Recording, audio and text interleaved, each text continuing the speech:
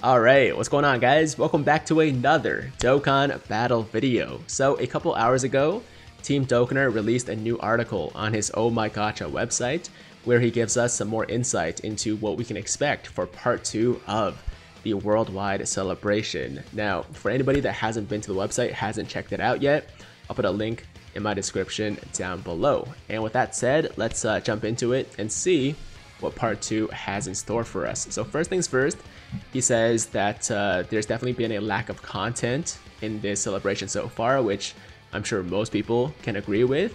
And the second thing he mentions is the fact that there's not gonna be a new Kid Buu coming for part 2, alright, on the Legendary Summon banner. Now, of course, this is something that a lot of people were speculating, were expecting, and really hoping for, like a new Kid Buu unit, because uh, given the theme of the celebration, it would make a lot of sense to get a new Kid Buu, and in fact, it's been quite some time since we last had a new Kid Buu unit in this game in general, right? Like the last one, I think, was the 120% lead, the uh, Int Kid Buu, and he was released, I think, at least two and a half to three years ago. So yeah, we're definitely overdue, but unfortunately, it's not going to be coming for part two of the celebration. But if you look at the order of releases for units on JP at least, it would make sense for them to get a new Kid Buu unit, whether it's a Dokkan Fest exclusive, or an LR, or a Dokkan Fest exclusive LR, uh, sometime in the near future after the worldwide celebration ends, right? Um, so of course, once that comes out on JP, then Global will be getting it three to four to six months after. So a new Kid Buu is definitely coming. It's just not coming for you know, the worldwide celebration. And instead, we're going to be getting a new LR Vegeta, which is what the uh, manga panel leaks on Dokkaner's Twitter page from a couple days ago was uh, referring to. Now, real quick, before we talk about him any further, I do want to quickly apologize for my video from a couple days ago where uh, when I saw those panels on, the on his Twitter page, I got a little bit excited and my mind immediately went to LR Super Saiyan 3 Goku, because obviously one of the panels is from that scene where Vegeta is just talking about how strong Goku is, how much he respects Goku, and all that stuff. And of course, in that scene, Goku is in his Super Saiyan 3 form fighting Kid Buu, right? So my mind was like, yo, it's gonna be an LR Super Saiyan 3 Goku. But no, instead, it's gonna be LR Vegeta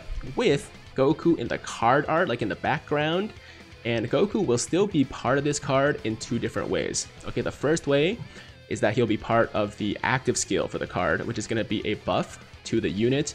We don't know what the buff is going to be. Most likely, I'm guessing like an attack or defense buff or something of that sort.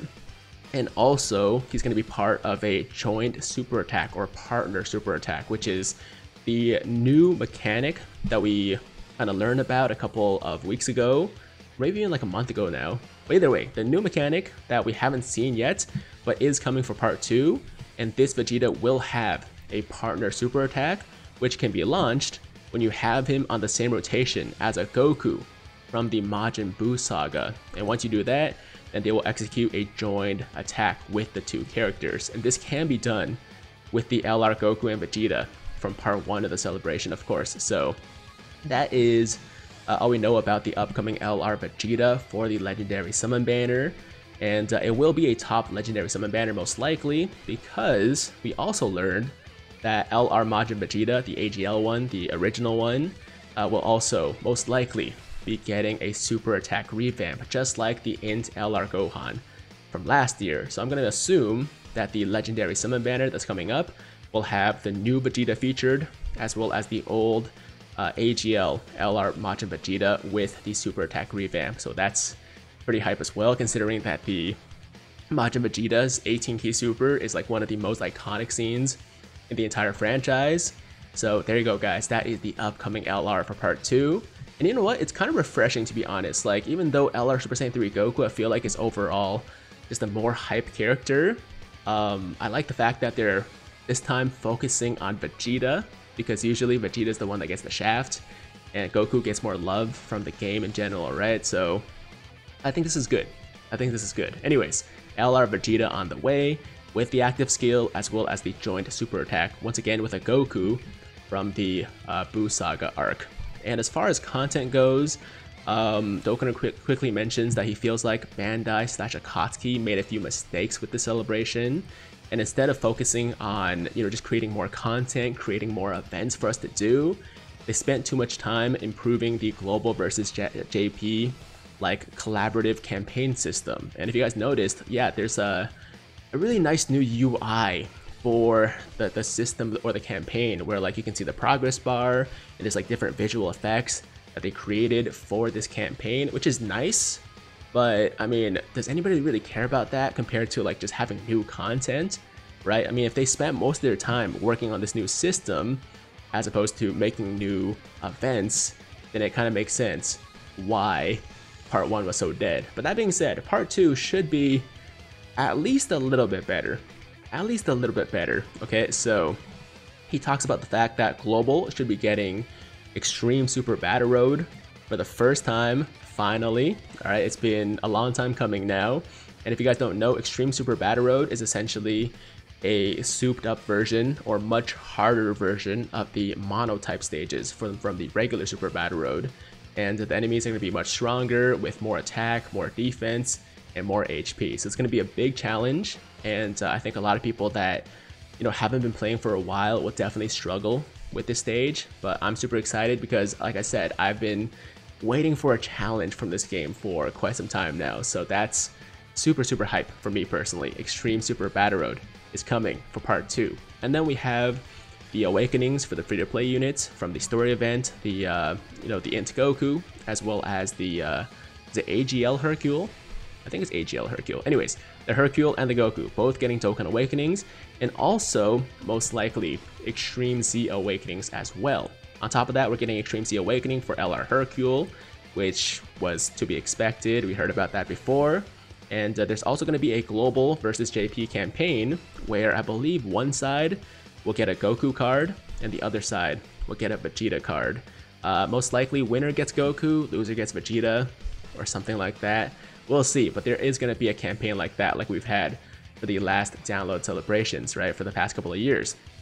And finally, we're going to be getting uh, obviously new stages for the Buu Saga story event to get the medals to awaken both the Goku and the Hercule, and also a new stage for Infinite Dragon Ball history. And I'm assuming it's going to be like the end of the Buu Saga, right? So with enemies like Vegito, uh, Buuhan, Kid Buu, and so on and so forth. And finally, he says that there may also be Extreme Z Awakenings, uh, possibly for more Dokkan Fest units, like a 120 lead or something like that, but uh, he can't confirm anything at the moment. And as far as the start date for Part 2, it's most likely going to be starting on the 14th to 15th, so in like two days or so. And the portal, or the uh, Legendary Summon banner, will be dropping on the 15th to 16th, so one or two days after the celebration, or part two of the celebration, officially begins. And that is pretty much it, guys. That is all the news, all the new things we learned from the Dokkan. I almost said Dokkan now, actually. Uh, oh my Gacha, oh my Gacha article from Team Dokkaner's website. And uh, once again, if you guys haven't checked it out yet, it's a really, really good resource. I'll put a link in my description down below. Make sure to go check it out after you watch this video. But uh, that's all I got to tell you in this video.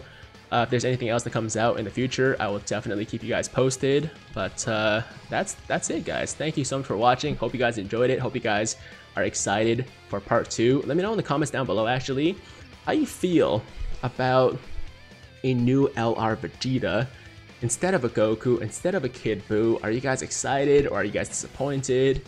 Uh, or are you guys, are you just waiting for you know the details and the animations to come out first before you make a judgment. That's probably the best way to go about it, honestly. But uh, like I said, I'm happy about it because I just feel like in general, Vegeta needs some more love. So the fact that he's getting his own LR and just an LR Vegeta compared to, you know, Vegeta and Goku or um, you know somebody somebody else, I think is a good thing. It's a good step in the right direction. But anyways, that is the video. That's all I gotta say.